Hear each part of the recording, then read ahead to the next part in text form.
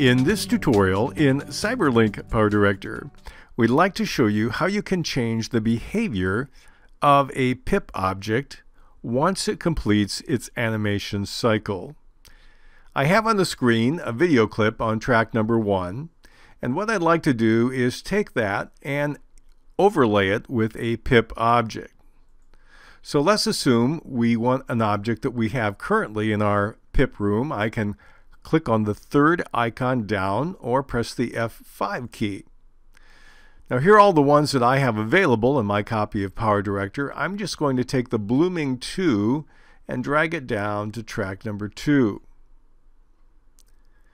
And if I highlight it and click on the timer above the timelines, I notice that the default duration of the clip is 5 seconds.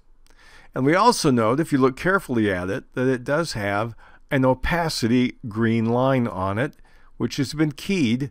So now it is full opacity up to here, and then it slides down and becomes fully transparent at the end.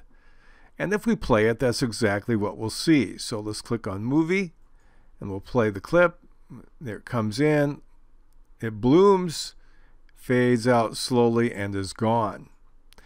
But what if we want this to be on the screen longer than the default 5 seconds?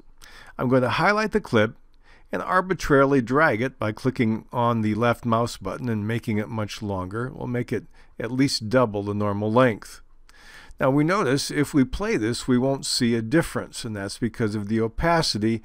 It turns it to zero and after that point it stays invisible.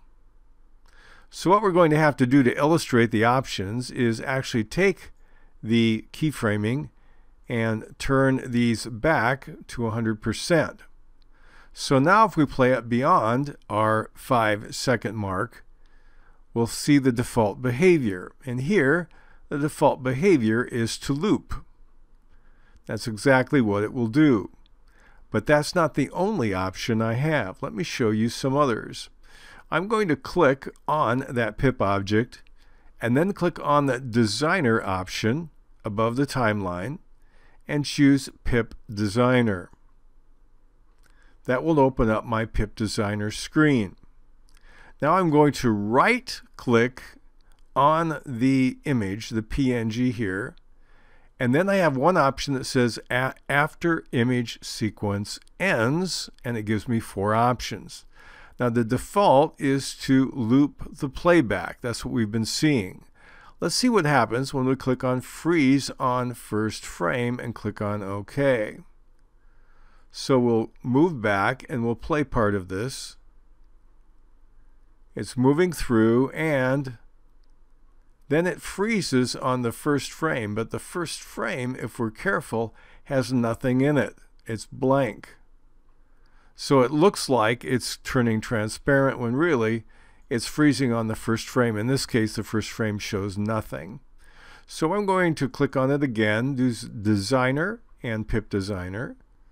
We'll right click again, and now we'll choose Freeze on Last Frame and click OK. So now, as we play this, we see it gets larger, and then at the end, it freezes on the screen. So this is behaving just the way we might expect. Let's look at the other option. I'm going to highlight it again, go to Designer, Pip Designer, and right click again. After image, we have another option is stop playback. I'm going to click on OK, and let's see what happens there when I stop the playback, it's as though it, it was cut right here at the original length.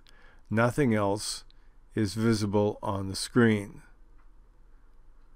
So it's full screen all the way up into the original length and then it stopped the playback so no matter how long I make this I will not see that pip object after the 5 second original mark. So those are the ways in which you can modify what happens in a pip object if you have it on the screen longer than the default length of time.